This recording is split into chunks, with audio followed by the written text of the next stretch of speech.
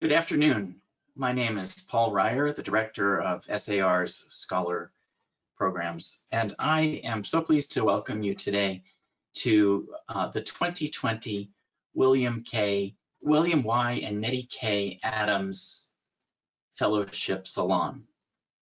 Before I begin, a couple of simple housekeeping things. Uh, please check the SAR calendar for upcoming events. Um, and uh, and then in terms of today's event, um, first I'm going to introduce our speaker today, uh, Dr. Nicholas Barron, and then uh, we will hear his presentation. And following his presentation, SAR President Michael Brown and I will join Dr. Barron and we will take questions from the audience. So please, if at any point during his talk a question comes to mind, please go to the um, chat, to the Q&A bar in the chat of your webinar screen and uh, type in your question.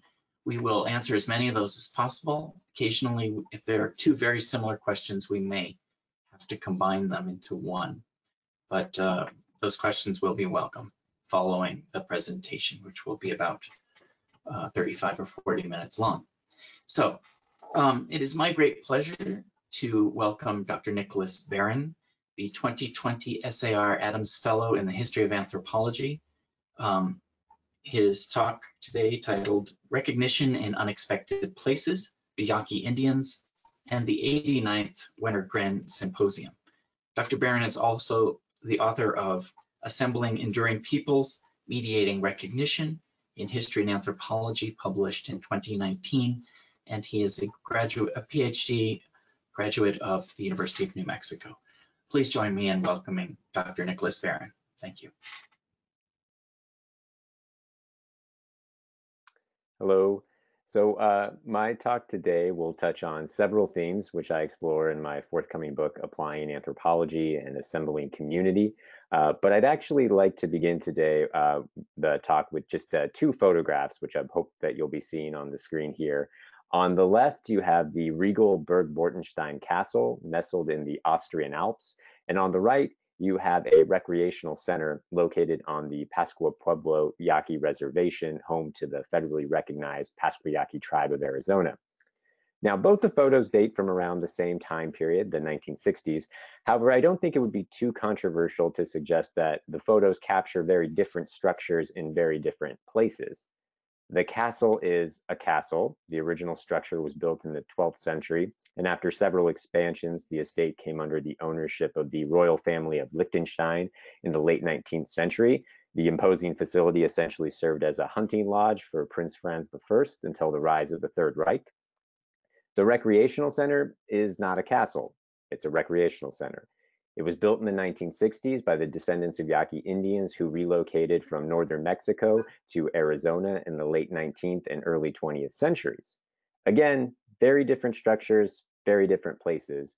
And yet these two images and the locations they capture are loosely connected.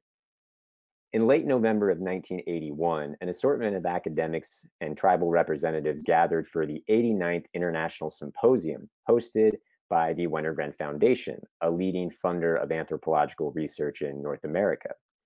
Previous symposia had been held at the aforementioned Burg Wartenstein Castle, which the foundation actually purchased in 1957. However, the 89th gathering was to be held in southern Arizona, split between the aforementioned Pascua Pueblo Yaqui Reservation, also known as New Pascua, and a conference center located north of Tucson. Organized around the theme of Yaqui ritual and performance, the event promised a public reenactment and interdisciplinary examination of the deer dance, a key component of the Yaqui ceremonial system. While largely comprised of leading figures in anthropology, the participant list also included noted representatives of the Pascua Yaqui community on whose land the event would take place. An almost forgotten event in a seemingly out of the way place, the Yaqui Conference, as I'll refer to it from here on, became an unexpected site for what has been termed the politics of recognition. Now, the politics of recognition is itself a pithy phrase that simplifies a very complex phenomenon it seeks to describe.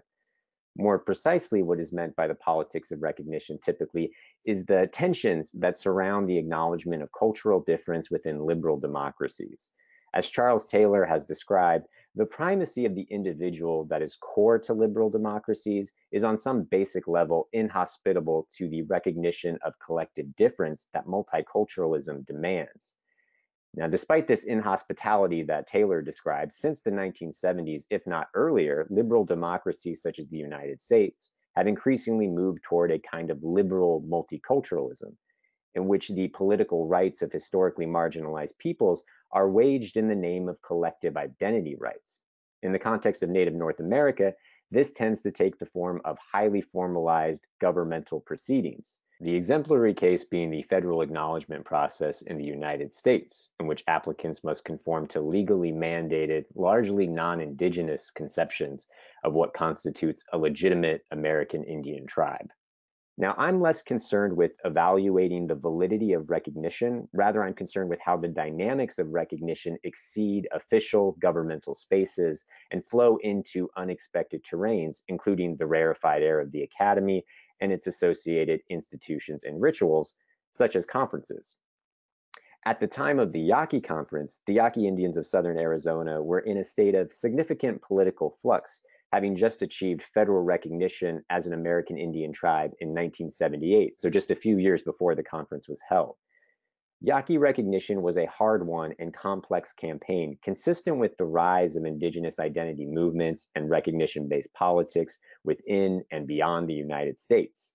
That being said, recognition of the Yaqui came with its own unique set of complications. The modern day Pascua Yaqui tribe of Arizona is composed of the descendants of individuals who came to the American Southwest largely in the late 19th and early 20th centuries by way of the push of Mexican state violence, as well as the pull of railroad and agricultural work. Those who braved the new landscape arrived in multiple ways and never lived in a single area. Migration along agricultural and railroad lines scattered Yaqui individuals and families into ethnically mixed neighborhoods from northern Arizona to southern California. Arriving from numerous villages in Sonora, a contingent of the displaced and heterogeneous Yaqui steadily aggregated into a small neighborhood in the northwest corner of the developing city of Tucson. In honor of the group's elaborate Easter ceremonial system, the community was given the name Pascua, Spanish for Easter, by a local U.S. attorney and chair of the Chamber of Commerce, who actively supported the cultivation of the Pascua Yaquis as an ethno tourist attraction. Despite finding a home in urban Tucson, the community long occupied an uncertain position, sometimes classified as Mexican refugees, American Indians, and on at least one occasion, colonists. Pascua identity was surprisingly porous and, at least in the eyes of others, murky, if not suspect. In the 1970s, Congress became a site for the reimagining of a new American Indian identity for the Pascua Yaqui. While these efforts slightly predate the institutionalization of the contemporary US federal acknowledgement process, Yaqui still found it necessary to perform a legible version of American Indianness. For instance, shortly after the bid for recognition, community leaders began to suggest that the Pascua Yaqui were descendants of the Toltec, the ancient predecessors to the Mexica Empire, and that much of what is now the United States, including Arizona, can be considered Toltec and by association, Yaqui homeland. One cannot underestimate the significance of this narrative shift. Yaquis of Arizona had long understood their position in the region to be a product of relatively recent migration. Until the 1970s, no part of the present day American Southwest was explicitly included in community origin stories. So, by incorporating Toltec heritage and US territory into their origins, Pascua leaders were essentially staking a claim to a distinctly American Indian identity.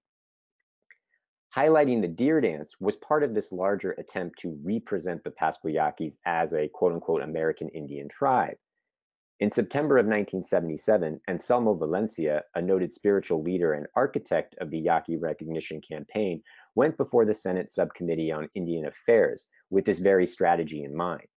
Valencia characterized the dance as one of the most significant markers of the Yaquis' quote unquote Indianness. And I'll quote his uh, statement to uh, the Senate at length here. Quote, the Yaquis are Indian in every sense of the word. We have our own language, our own culture, such as the Pascola dancing, the deer dancing, and the coyote dancing. These dances are Indian in origin. In the deer dance, we sing to honor the great mountains, the springs, the lakes. We sing of our Father, the Sun, and of creatures living and dead. We sing of trees, leaves, and twigs. All of the songs sung and played are to the olden times, ancient Yaqui Indian stories. The Catholic faith and the various governments under which the Yaquis have had to suffer have tried for centuries to undermine our Yaquiness, but after 400 years, they have not succeeded. We have retained our language, our culture, our Indianness, end quote. Valencia's conception of Indianness displays rhetoric that is typical of recognition proceedings. According to this logic, Yaqui identity can be reduced to select traits such as dances, language, songs, and stories, and these traits are imagined to have emerged in a distant past devoid of outside influence, i.e., prior to the arrival of the Catholic faith. Historians and sociologists of nationalism have long argued that the cultivation of symbols such as these are more than mere representations of ethnic communities. Rather, they are the constitutive elements in the formation of those communities. As described by Anthony D. Smith, the process of symbolic cultivation refers to a wide range of ethnic memories, symbols, myths, and traditions. Many of these are local in origin, but some of them may be taken up and adapted by specialists who then communicate these ideas to the world. Smith goes on to suggest that by operationalizing history and the social sciences in particular, uh, elite members of ethnic communities have worked to place their political projects on firm historical foundations and convince their kinsmen, as well as a hostile world, of the truth of their claims. In the end, Valencia successfully persuaded sympathetic politicians, such as, Sen as Arizona Senator Dennis DeConcini, to see Yaquis not as Mexican Indians, but as, and I'm quoting DeConcini here, a, major and unique American Indian tribe whose ancestors have lived in what we call the Southwest from time immemorial, end quote. In other words, operating under the strictures of recognition, Valencia effectively reassembled the Yaqui as a new kind of polity in the United States. Even after federal recognition was conferred, however, Yaqui identity remained an open question, especially at the local level, as real estate developers in Tucson began to turn their sights to the newly constructed site of New Pascua, shown before. During the early 1960s, before recognition was an option, the Yaqui of Southern Arizona partnered with local applied anthropologists to lobby Congress to secure trust land for the community on the outskirts of Tucson. After purchasing a 320 acre plot of land, which was essentially a defunct mineral mining operation, the Yaqui, along with their anthropological patrons, established the Pascua Yaqui Development Project. Supported by the Office of Economic Opportunity, the bulwark of the war on poverty under the Johnson administration, the development project spurred the first wave of construction on what would become New Pascua. The conferral of recognition in the late 1970s essentially turned New Pascua from a somewhat poorly defined bit of federal trust land occupied by what many saw as Mexican descended Indians into an official tribal reservation. This reclassification ruffled the feathers of local stakeholders and revealed the inhospitality and the limits of liberal multiculturalism. When the tribe moved to expand their reservation boundaries in the early 1980s, in the early 1980s, Joseph Cesar of Broadway Realty and Trust Inc wrote to Congressman and Pascua Yaqui supporter Morris K. Udall in protest, quote, there cannot be more than 100 Yaquis living on that reservation, who, by the way, came from Mexico, and it would be better to integrate them into our society instead of enlarging their reservation, end quote. Mexican refugees, American Indians, colonists, descendants of the Toltec, as the conference began, the Yaqui of Tucson were a newly recognized tribe still struggling to figure out how best to represent themselves to a somewhat hostile world under these newly codified conditions of American Indianness. Echoing the philosopher Ian Hacking, we might say that there was a two-way interaction between an emerging category of people, that is to say the Pascua Yaqui as an American Indian tribe, and the kinds of people, such as Valencia and other Yaqui folks, who would fit into this category. Valencia's congressional testimony, I want to communicate, was not the end of these interactions, but the beginning. The Yaqui Conference and the continued reframing of the deer dance as the paragon of Yaqui Indianness would prove to be another installment in this ongoing effort to live within the bounds of federal recognition. Now, in the spring of 1981, far removed from southern Arizona and the political trials and tribulations of the Pascua Yaqui tribe, the Wenner-Gren Foundation was busy formulating what would become the Yaqui Conference. The conference planning process congealed amid a growing sense of disquiet in institutional anthropology, which rendered the future of cultural anthropologies, or one of cultural anthropology's leading uh, sources of financial support in North America, deeply uncertain. Established in 1941 by the Swedish industrialist Axel Wenner-Gren, the Wenner-Gren Foundation began with the less than noble desire to shield its patrons' large financial holdings from a grating tax snafu, apparently involving the sale of a boat anchored off the coast of Florida, an elite problem if ever there was one. At the suggestion of his lawyers, Wenner-Gren created the Viking Fund, the name supposedly inspired by his own Scandinavian heritage.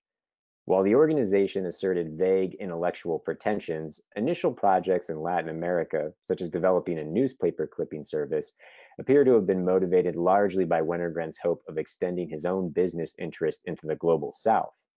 It was only in the 1950s when Wenner-Gren brought Paul Fejos, a Hungarian aristocrat and avant-garde filmmaker turned nascent social scientist, into the organization as a director of research that the foundation eventually renamed in honor of its founder took on an explicitly anthropological, not to mention less superficial focus. Under Fejos's leadership, Wenner-Gren became a leading patron of anthropology in the United States. And in 1957, Fejos persuaded Axel to purchase Burg Wartenstein, which then became the site of the recently established International Symposium Series. The palatial estate and the symposia constituted intertwined symbols of the Foundation's regal prominence in the field of anthropology.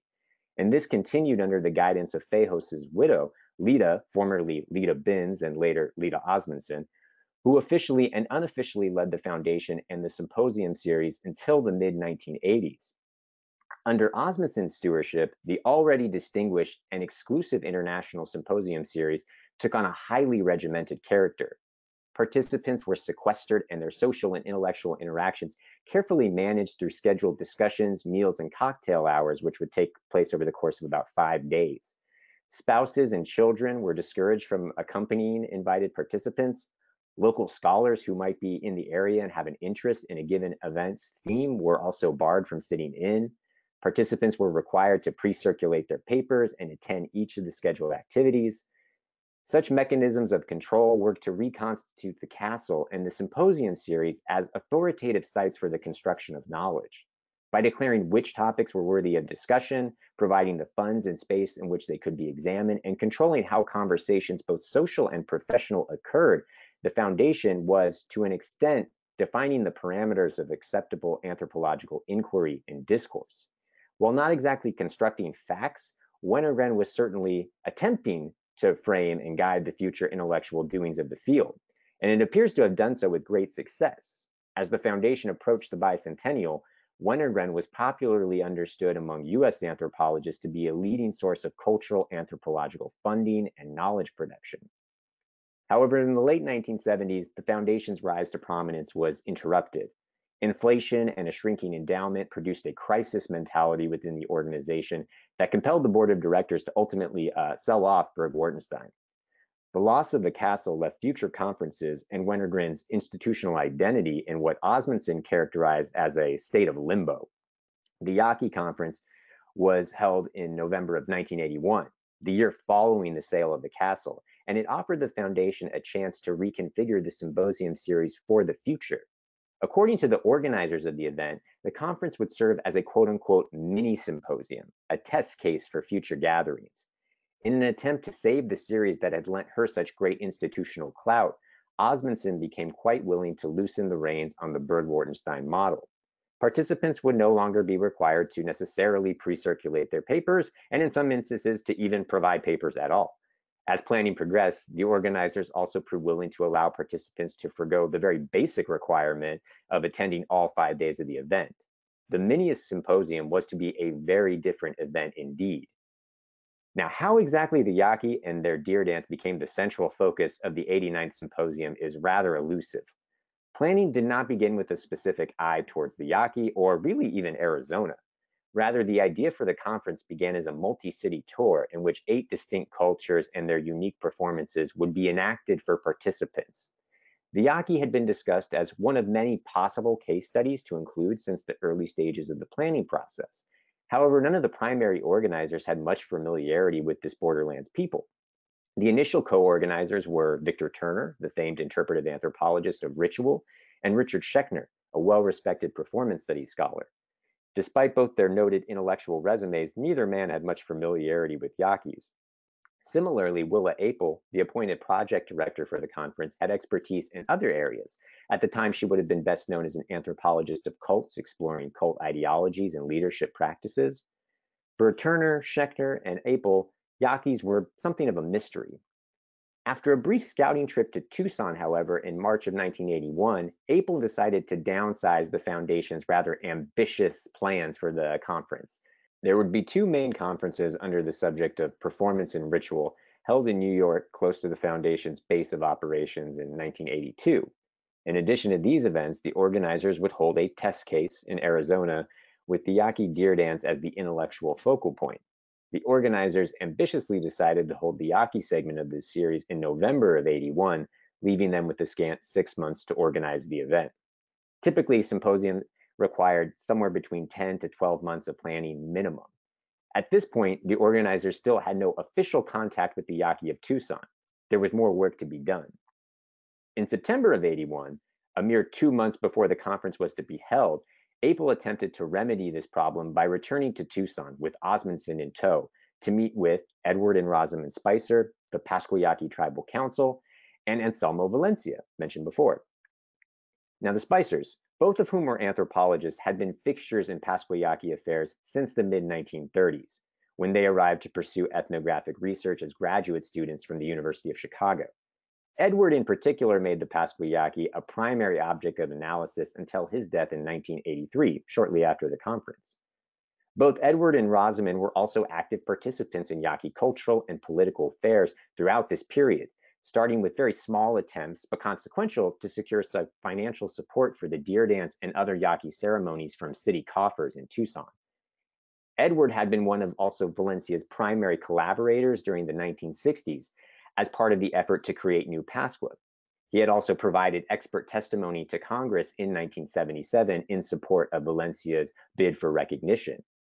At the time of the conference, the Spicers had a 44 year old relationship with the Yaquis of Tucson, made stronger by their long term residence in the city and Edward, Edward's position in the Department of Anthropology at the University of Arizona, also in Tucson. So they, they stayed in Tucson, they raised their family in Tucson. Oddly, though, it appears that Turner, Schechner, and Appel had not thought to include the Spicers in their event until a proposed participant, Fred Eggan from the University of Chicago, made the suggestion in the summer of 81. Osmundsen and company scrambled to digest Edwards' work and the recent history of the Yaqui in Tucson. The conference organizers' behavior suggests not only a lack of familiarity with Yaquis, but a somewhat naive understanding of the political terrain that they would enter. Following their September meeting, Osmundsen asked Spicer for a copy of his 1977 testimony before Congress. She planned to circulate the statement to the invited participants, the majority of whom also had little to no experience with Yaqui issues. Osmundsen stated that she had heard that the expert testimony was, quote, the most cogent information they could obtain as preparation for this conference, end quote. What Osmundsen did not realize was that Spicer's testimony was really a carefully crafted and abbreviated attempt to represent the cultural distinctiveness and territorial attachments of the Yaqui to Arizona so as to underwrite their claim to American Indian tribal identity. The claims made in the testimony were more conjectural and politically pragmatic than they were rooted in empirical research. So Spicer had this large canon of work that they could have drawn from, peer reviewed articles and texts but this was the object that they were focused on. By embracing this testimony, I think the foundation betrayed a simplified conception of the complexities of recognition in the Yaqui case. Um, could be an underestimation on my part. Ultimately, the Spicers agreed to attend the conference and provide commentary on the preliminary program, which Osmundsen actually credited with quote unquote Yaquiizing the issues. Additionally, Edward consented to be listed as a co-organizer, giving the gathering some semblance of local anthropological support and approval. Despite the Spicers' aid, the organizers did recognize that Yaquiizing the proceedings would still at some point require the involvement of actual Yaquis. This realization marked the formal introduction of Anselmo Valencia into the planning process. A World War II veteran, community organizer, dynamic political advocate, Valencia was far from the unassuming shamanic caricature of Don Juan popularly portrayed in Carlos Castaneda's writings on Yaqui spirituality, which would have been popular at this point. Valencia was also no stranger to anthropology. And this is important. During the 1930s and 40s, Valencia's ceremonial godfather, Lucas Chavez, served as one of Edward Spicer's primary informants. Chavez, a keen political mind in his own right, was one of the first to recognize how sympathetic anthropologists could be made to serve as advocates for the Yaqui in their dealings with local government. Beginning in the late 1940s, Valencia elaborated on this strategy in his own campaigns. The Spicers once again became nodes of advocacy as Valencia relied on Edward to secure support from congressional representatives and federal funding agencies, such as the Office of Economic Opportunity. These efforts helped manifest Pascua Yaqui recognition and a tribal reservation, which in turn elevated Valencia's position in the community as a skilled organizer and well-connected political operator. However, mirroring the rocky foundation of Wenner-Gren, by the early 1980s, Valencia's position had also begun to change. As already noted, the newly recognized Pascua Yaqui tribe faced opposition from segments of the local real estate lobby. However, this was not all. The recognition campaign had put Valencia on somewhat confrontational terms with other Yaqui groups who opposed his decision to speak for them as if they were a single homogeneous entity. The people of Pascua were one of several Yaqui communities in the state. Additionally, leading up to recognition, Valencia faced criticism from more powerful recognized tribes of Arizona who viewed the Yaqui as Mexican, not American Indians with illegitimate claims to already limited federal resources. Faced with opposition on multiple fronts, Valencia entered the conference with the need to present the Pascua to the public as a legitimate and coherent indigenous entity. Now, unaware of this situation, Appel wrote to Valencia following their short meeting in Tucson, quote, we depend on you to decide how to present the issues. Our goal is to learn about the deer dance and its place in Yaqui culture. We hope that you will continue to teach us how best to learn. End quote. Fortunately for Valencia, teaching how best to learn would conform quite nicely with his own goals and objectives. On the morning of November 19, 1981, the first official day of the conference, Tribal representatives greeted participants at New Pascua and gave their visitors a tour of the facilities before a formal welcome led by Valencia began promptly at 11:30 a.m. The welcoming speech is recounted in participant Edith Turner's reflections. Quote, Valencia began by introducing the dancers. Then he turned to his listeners and reminded them that they were Anglos, anthropologists, and that he had a lot of trouble from anthropologists. Their incessant questions made it very difficult for the Yaquis. Valencia strode up and down a little, getting indignant. What is this word savage? he asked, a word that Anglos and Mexicans used about the Yaquis. He asked various people in the audience what the word meant. After some unsatisfying responses from Victor Turner and Edward Spicer, Valencia went on to give the definition that he had heard from Anglos, that savages were murderous before anything else, end quote. It was at this point that Valencia began to frame his audience's perception of the deer dance, what they were there for. Valencia recounted uh, the origins of the ceremonial objects on display before his audience. From flutes to drums, he claimed an indigenous origin for each. Valencia even suggested that the Yaqui's symbolic use of the cross had pre-colonial, i.e. non-Christian roots, the cross being part of the Yaqui flag. Later in his summary of Yaqui history, Valencia emphasized a cunning embrace of colonial society in which Yaquis selectively pruned and incorporated elements of Catholicism while retaining their distinct religion. Echoing his performance before Congress, Valencia framed the deer dance as an untouched vestige of a pre-colonial past. This presentation departed significantly from the ethnographic and ethnohistorical literature at the time, much of which had been produced by Spicer, who was present for this performance. And in his notes from the conference, Spicer expressed discomfort as he characterized Valencia's interpretation as quote unquote idiosyncratic. While the organizers worked to transpose aspects of the Burg-Wartenstein model to the Arizona location over the next few days, contingencies reigned supreme. The second day of the conference saw a return to the reservation, with Valencia once again acting as master of ceremonies, while participants witnessed an abbreviated performance of the deer dance organized specifically for the conference. The third day brought Valencia to a conference center located 40 miles north of Tucson in the town of Oracle, a more traditional setting somewhat reminiscent of the Burg-Wartenstein days, although arguably less, less regal. Four different sessions were scheduled between 9.30 a.m. and 5.30 p.m., with Valencia serving as the primary discussant for the opening session. This session was to be chaired by Keith Basso, an expert on the Western Apaches, who reluctantly accepted the invitation, admitting his lack of familiarity with the Yaqui case.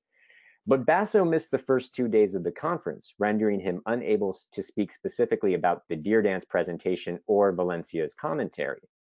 The session was also intended to be based on a pre-circulated paper by Alfonso Ortiz, another anthropologist of the Southwest, but Ortiz canceled just prior to the start of the conference due to a family emergency.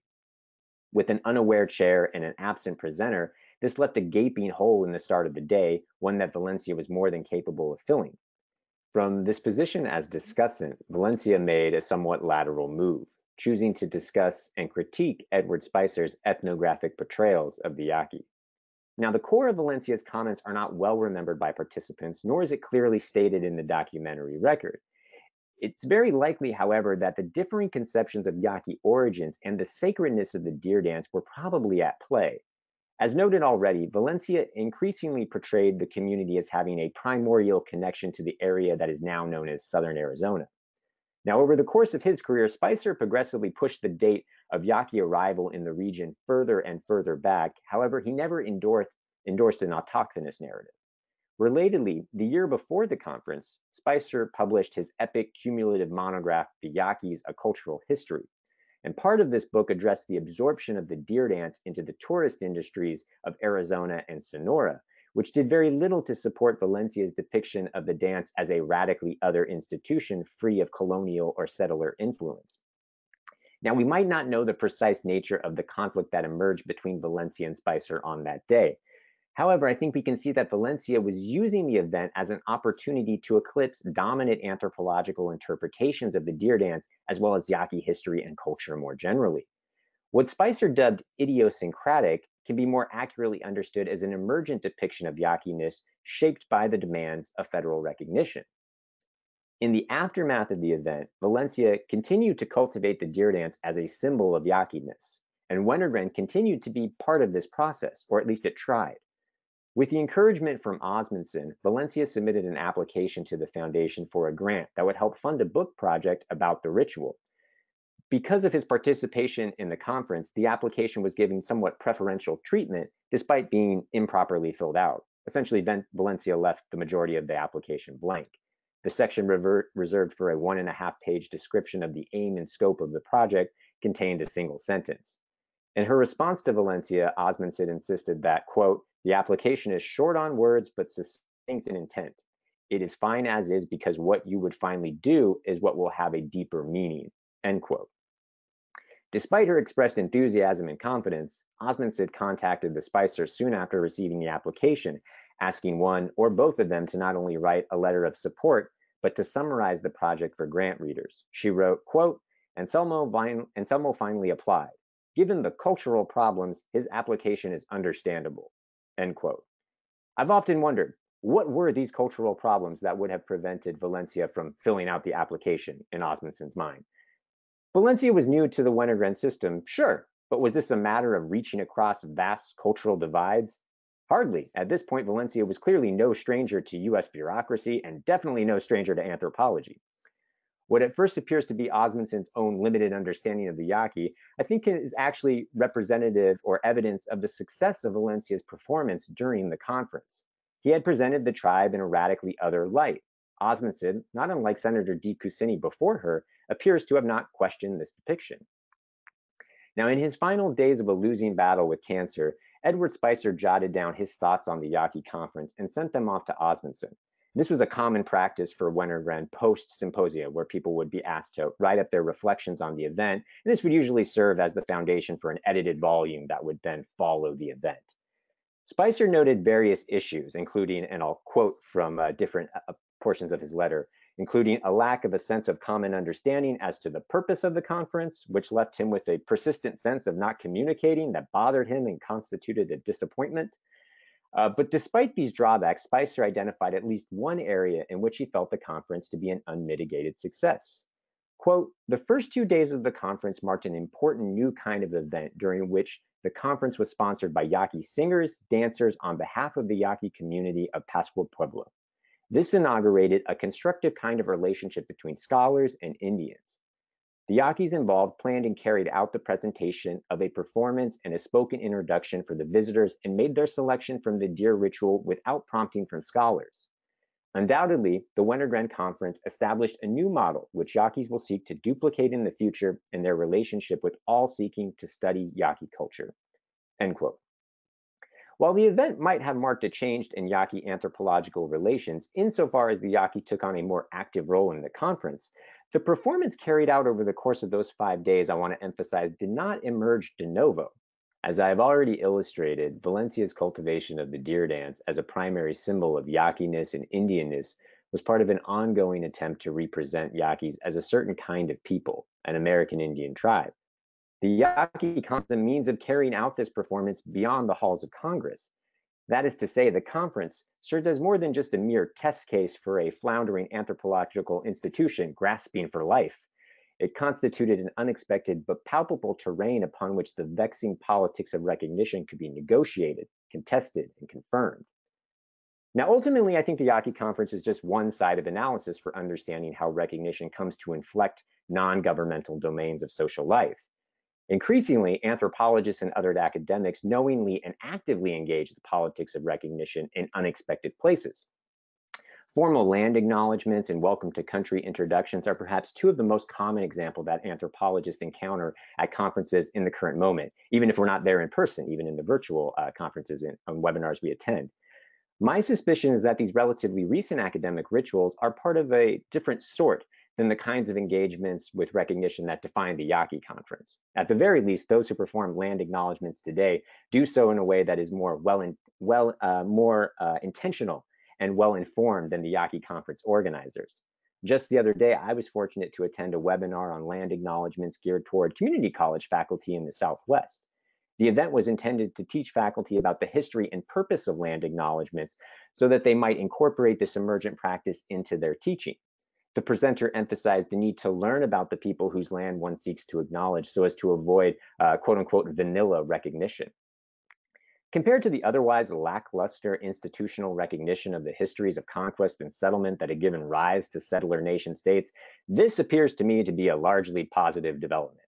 However, I think it's worth considering how these emergent traditions are never divorced from the demands of recognition, and this includes the ideologies that undergird such politics.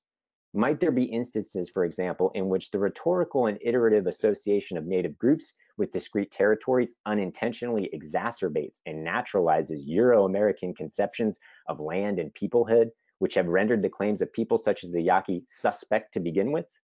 When I asked the presenter at the aforementioned webinar why the Yaqui were not included in many of the land acknowledgements used by universities and colleges in the Tucson area, I was told rather simply that the Yaqui are native to northern Mexico not the United States. I cannot help but consider how such an answer, well intentioned and well supported by the documentary record though it may be, effectively naturalizes the logics of recognition that Valencia and Yaquis of Arizona have struggled to live within. I have no immediate answers or solution to the vexing paradoxes of recognition. And I don't want to uh, communicate the idea that I'm suggesting that we should say, like, not do land acknowledgements, for instance. Not that at all. I simply hope that scholars will keep such paradoxes in mind as we continuously and critically document the dynamics of recognition in places expected and unexpected. And that would be it.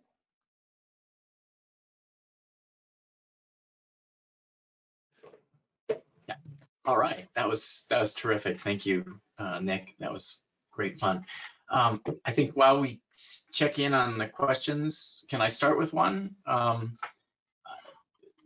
a lot, a lot of different things come to mind, but uh, the first, biggest question I had was, you uh, you mentioned a little bit uh, the the quest for federal recognition and the way that the Spicers were involved in that, and I'm curious to what extent did the kind of dynamics you described for the Wenner-Gren Symposium uh, mirror or diverge from the that other quest for rec that other venue of recognition that that I know you also have studied? Uh, sure, I, I, think that's a that's a great question. Yeah, and uh, yeah, so to think about the two, so as I sort of mentioned at the outset, um, the the campaign for recognition and then this sort of uh, little known conference sort of coincide. They're only a few years apart, certainly. Um, there's definitely some parallels with that. So as I mentioned, the uh, at least Edward Spicer took on something of a role in the federal recognition campaign, not particularly an active role. Spicer was sort of a, a late addition to that uh, development. Spicer had worked, labored pretty hard throughout the 1960s to do everything that he could, along with a couple other local anthropologists in the Tucson area to ensure that the Yaqui were able to take advantage of some of the resources that I mentioned were being offered through the Office of Economic Opportunity, so essentially the war on poverty. Um, that was not unique to the Yaqui. Other uh, federally recognized Native groups were able to do that throughout the 1960s. Uh, so Spicer had devoted his attention to that. Recognition was something that seems to have developed sort of apart from his involvement with the community. And it wasn't really until a few years into that, in around the 1976, 1977, that the lawyers working with the what would become the Pascua Yaqui Tribal Council reached out to Spicer and asked him to write a formal letter of support, which essentially became the kind of sole expert witness testimony, you might say, that was used uh, when the Yaqui went before Congress. And that's really just a, a few pages of a statement, uh, an attempt by Spicer to sort of summarize at that point, which would have been, you know, 30 plus years worth of work. And, you know, it, as I try to mention there in the, the talk around the conference, that testimony that Spicer put together tries to do something, uh, tries to walk a very difficult line, which is that it's trying to sort of speak to the uh, cultural and historical integrity of the Yaqui as a discrete community, uh, but at the same time trying not to necessarily uh, support and naturalize these autochthonous claims that are starting to sort of permeate within Yaqui politics in southern Arizona. So there's uh, a little bit of trepidation on Spicer's part to both be involved in some ways in the Yaqui conference, but also in the Yaqui campaign for recognition, which I think is an interesting parallel. At first, Spicer is sort of uh, reluctant to write any such testimony that would then be used for the recognition uh, campaign, um, but ultimately uh, decides to do it sort of recognizing his long-term attachment to the community and the people that he had worked on behalf of. Spicer recognized that really with the introduction of the Nixon administration, any and all hope that they had to continue to exhaust the resources of the war on poverty was, you know, next to none. The Nixon administration essentially stopped that dead in its tracks uh, for everybody, with the exception of a few uh, programs like Head Start that continued on. But for the Yaqui, there really was, once we get to the early 1970s, no other option. So I hope that answers your question. Yeah, thanks for this great talk, Nick. I'm not sure I've got a question. It, it just seems to me that what you've described is a the kind of leading edge of what became uh, a set of dilemmas associated with federal recognition, which, as you know, is famously difficult.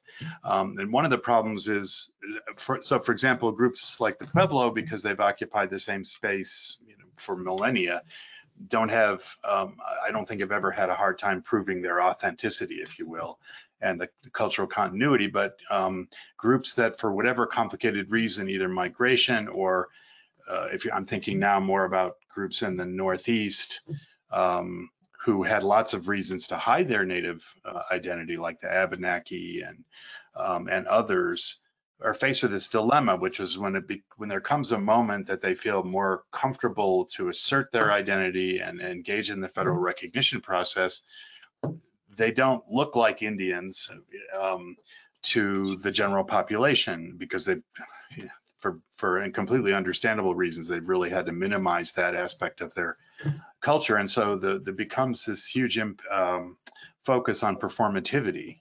And what's spectacular about the Yaqui, and I know um, Spicer's book, his description of the Easter ritual very well because I used it.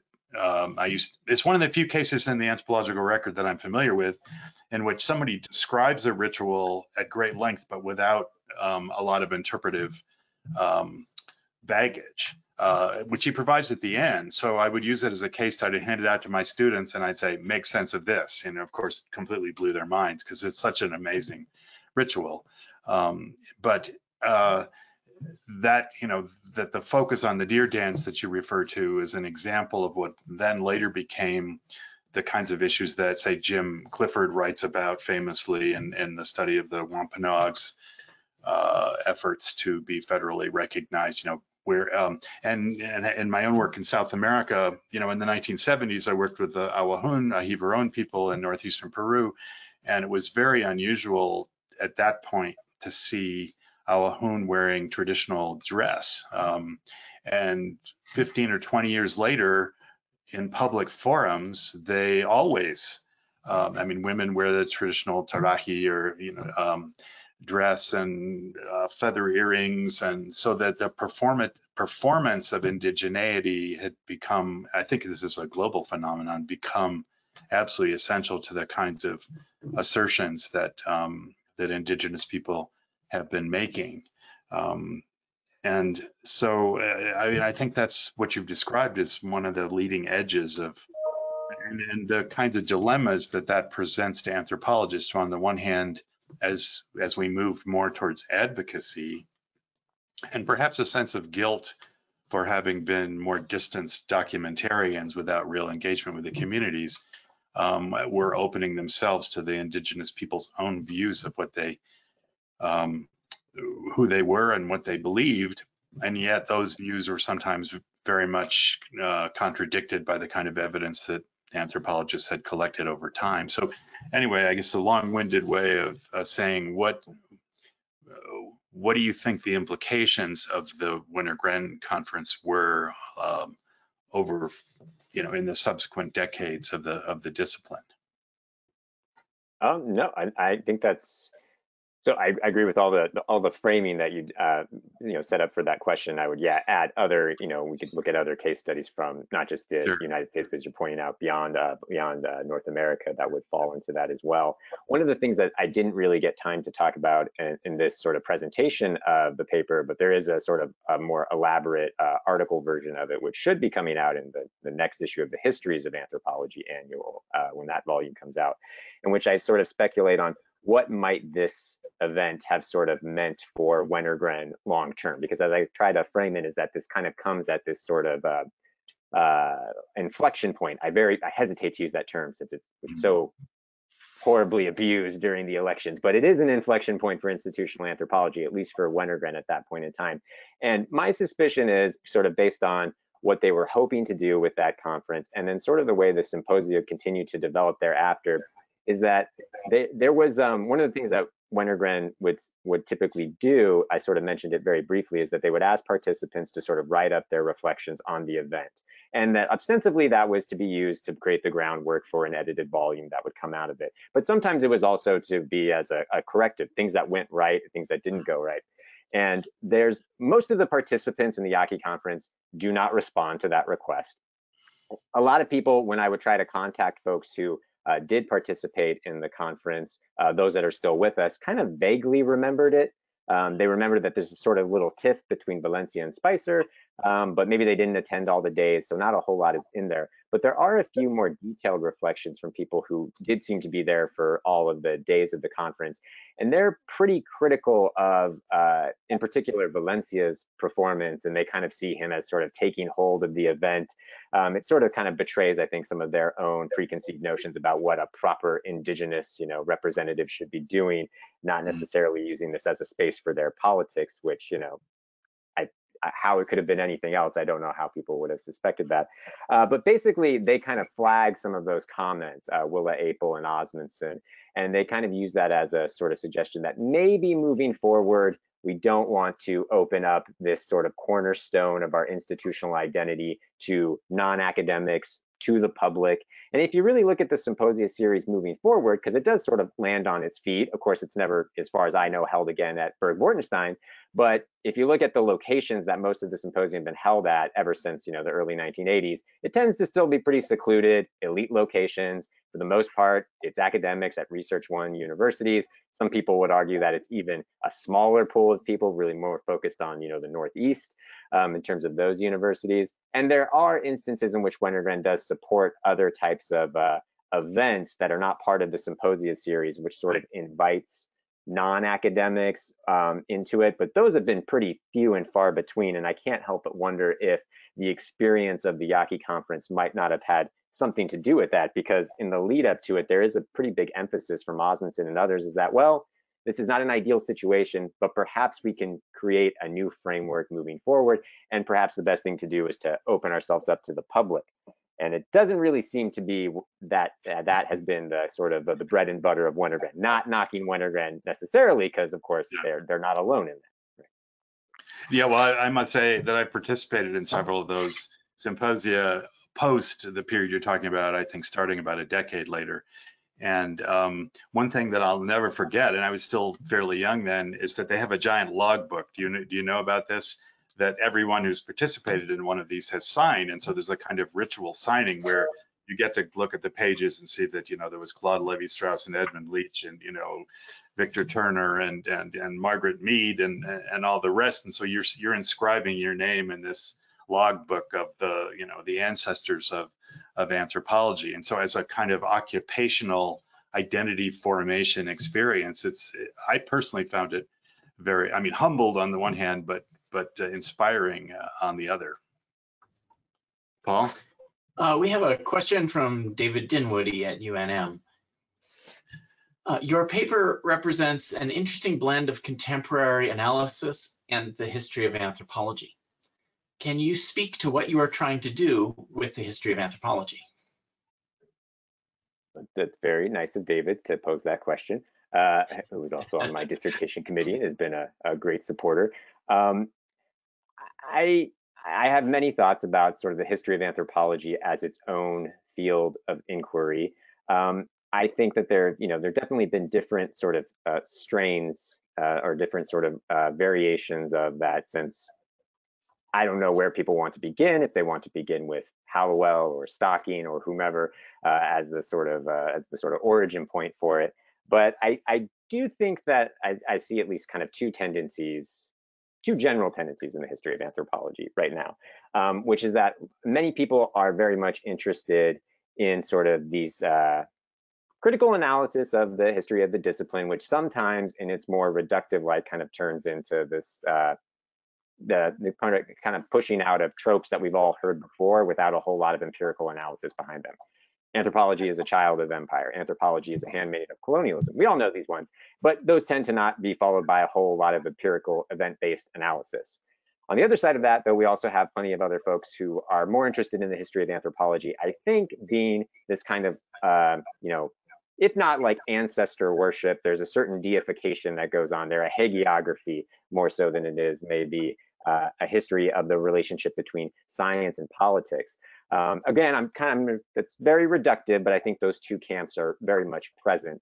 Um, and I think they both have great things to offer. I'm more concerned with thinking about the history of anthropology as the co-construction of science and politics and trying to sort of leverage what we can from the history and sociology of science, which I think has done a slightly better job of sort of framing our interest in our own disciplinary histories which means that we don't necessarily have to be in the business of, you know, trying to validate or invalidate things like anthropology's relationship with colonialism or those sort of like handmaiden tropes. Rather, we can actually look at, in this case, what I'm trying to do is really sort of concrete event-based analyses so that if we can talk about, say, anthropology is implicated in the politics of recognition, right? That's a very easy statement for me to make. That's a very easy statement for anybody to make actually showing people how that unfolds in time and place, that's what I'm interested in. I think history of anthropology as a field of inquiry really is well positioned to do that because, as we know, anthropology as a discipline is implicated in these different historical political formations, imperialism, colonialism, recognition, you know, settler colonialism, what have you. Um, so pushing it into, I, I want to see actual people in real time, in real place, historical actors doing things, talking to each other, essentially. Um, we've got a question or a comment and a comment and a question from uh, Louise Lamphere, I'm sure you also know. Um, she writes, while Nick characterizes Wenner-Gren in the late 1970s and 80s as a floundering organization, it's worth thinking about this period as one where Wenner-Gren was responding to and perhaps shaping a lot of changes in anthropology. Um, I, at about the same time in 1982, it hosted a seminar on the roles of women, including some Native women, in the shaping of anthropology. This was a seminar with all women participants, a, a huge change from the more male-driven conferences at the castle, with lots of informal interactions that were focused on the maleness of the participants. Could Nick comment on that? Well, I appreciate Louise pointing that out. Yeah, I, I think that's a great observation to make.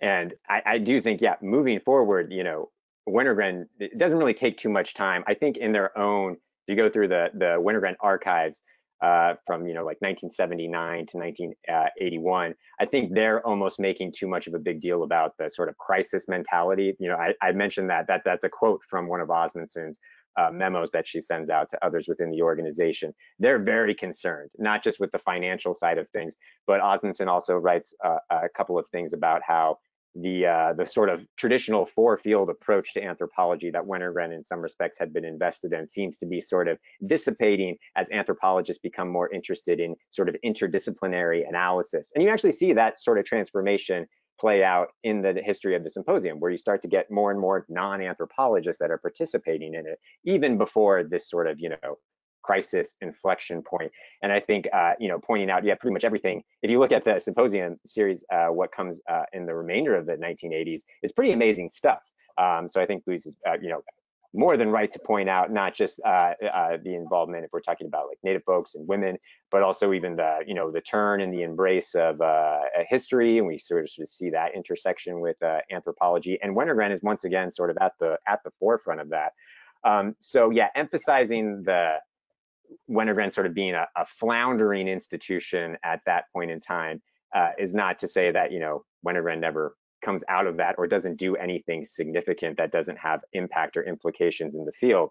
Um, especially since, I mean, if you're a cultural anthropologist today and you're not applying to Wenner-Gren for something, like, you know, I, I, probably don't have to say it because you are, right? It is still a, a central point in the in the field and, and, for very good reasons.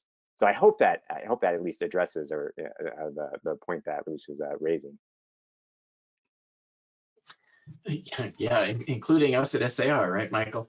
Um, yeah, uh, this is really fun stuff to think with. I, am curious, uh, as a as a student of Michel Rolph-Trouillot, I always think about his his insight that every historical narrative that there's a present in the past, right? That it also reflects the the interests of that political moment, and I think you've you've sort of uncovered that without without calling it that in your close reading of this particular symposium, that, that there are political interests of that moment at play and what becomes a story that's ostensibly about the past, but in fact also reflects the present. And I'm curious whether you've uh, found that uh, Rolph's paradigm helpful in thinking about this sort of thing, or whether you're perhaps more working through um, some some other paradigms like Stocking. You mentioned George Stocking's work, uh, or or or I'm not sure what other paradigms uh, have been the most helpful to you. So that's that's the question. Oh no, that's that's uh, great. I mean, I think um, so. I mean, the short answer would be I find Trouillot is very useful for thinking about, not just for bringing a historical perspective into anthropology to talk about the past and the present or the silences that are woven throughout our narratives, all of those sort of like really productive uses of constructionist you know, theory and sort of uh, the melding together of, uh, of Foucault, of Hayden White, all of those things that come through in Trouillot's work is, I think, incredibly productive. Um, and I do find that inspiring and useful for thinking about the history of the discipline, which of course Trouillot was talking about in addition to many other things, history itself. Uh, I, the thing about, uh, I think the, the sort of Stocking uh, uh, variant of the history of anthropology that I find very useful, and I think on some level this uh, this paper is representative of is I think, you know, people tend to, you know, overly, I think, associate Stocking with the emphasis on historical paradigms and trying to make sense and use the Kuhnian framework to bring it to the history of anthropology. And people can, you know, you know, wring their hands on that for decades to come. I have no interest in it. Um, but what the thing that I think that Stocking did, did give us that is still very useful to think with is to think about the history of anthropology through the history of institutions. Right? Mhm. And that's something that I think is very important and useful for giving us a, a side of analysis. So that's where Wenner-Gren becomes, you know, particularly useful and important for trying to make sense of this conference, but also the ways in which anthropology's history is sort of embedded within or entangled in the, the history of the Pascua Yaqui tribe. So I don't know if that provides like a, a very succinct answer to the question that you posed, but I, you know, for me, it's it doesn't have to be necessarily one or the other when we're trying to look through uh, sort of previous paradigms and ways to conceptualize the, the history of anthropology. I think there's things that we can uh, choose and take with us. Even going back to somebody like, you know, Hallowell, um, which I think sometimes doesn't always always get its, you know, uh, due for thinking about the history of the discipline, the study of the history of the discipline, I should say. If I can follow up, uh, I don't mean to take over, but um, you know, I wonder this crisis. I, haven't read the documents from Wenner-Gren, but the crisis that of the foundation that they did that you've described in their own reporting. I wonder if that sort of uh, has to do with the crisis of the uh, of that time with again what Rolph Trouillot uh, talked about in terms of the savage slot. I mean, it's the end of an era where you could where anthropologists could self-confidently study quote unquote savages to find new peoples to describe and so forth. And it was a crisis of confidence that obviously led pretty directly to stuff like writing culture and the and uh, the the more reflexive turn of anthropology later in that decade. And so I'm curious whether you, having read those documents, whether you saw that those crises as en- entered as entangled or or was something very distinct to that institution. Speaking of institutional histories, uh, institutional underground. Yeah, yeah, no, I think I think the thing that you're pointing to is, yeah, I was kind of wondering so when I started to see that there was more of these memos going back and forth between Osmundsen and her team, which seemed to suggest that something was going on within the institution that they needed to fix if they were going to survive not just this financial crisis, but this lar- the larger sort of symbolic position of the foundation within the field of anthropology. And I thought maybe this would be, especially if you know you look at a timeline for it, oh, this is the crisis of representation, right? This Yeah. is all the things that sort of open up the floodgates to Clifford and Marcus and all these other folks, Renato Rosaldo, people who are obviously working before this. Um, but it seemed to be at least the things that are mentioned explicitly in some of those memos. It doesn't really seem to to get quite into. It doesn't quite explicitly address, I think, some of the the politics and concerns that you're talking about of you know, you know sort of the, the issues of representation and speaking for other folks. It seems to be that that's something that's kind of implied in the background, and it's hard for me to tell because if it's just reading it, you know, from the point of view of the present.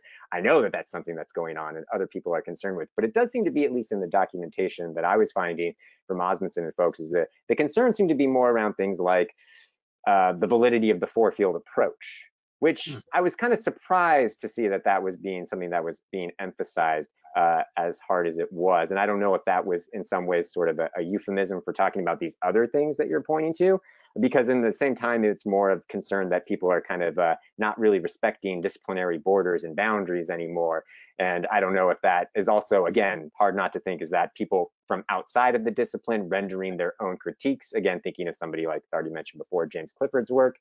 Hard to say exactly, but it's, you know, it seems like it's sort of um, in the ether, at least in terms of that quote unquote crisis mentality and concern for what the future of the foundation might be.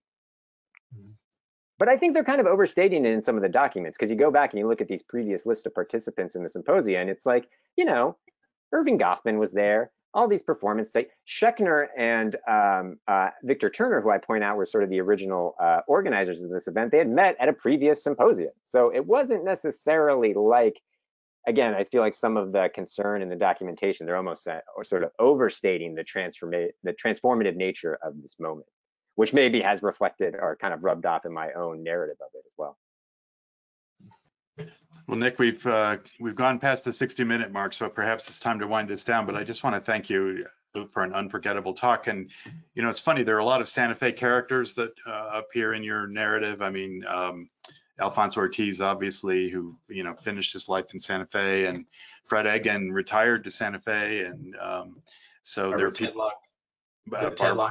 yeah, the Tedlocks, absolutely. Um, and so it's sort of interesting to see how, and in some ways, the advanced seminar uh, program at SAR was inspired by Wenner-Gren, though the model's somewhat different. They're much smaller than Wenner-Gren. They're on our campus. We don't fly everybody to Italy or Spain or Brazil or the kinds of places that they go or used to go.